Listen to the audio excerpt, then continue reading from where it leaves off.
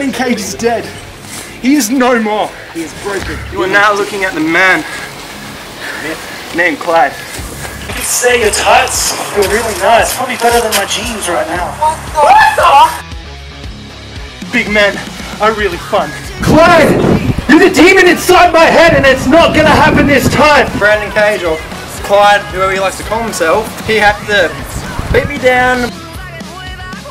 If you want shit to go down, you're gonna have to deal with me and this guy right here.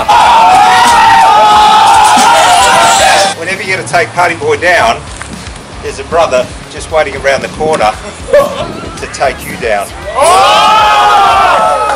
We've secured the best trainer in the business. That's fantastic. Who the fuck are you? Party Boy needs to come out of this looking like an absolute machine, a wrestling machine. This Brendan Cage has got to go down.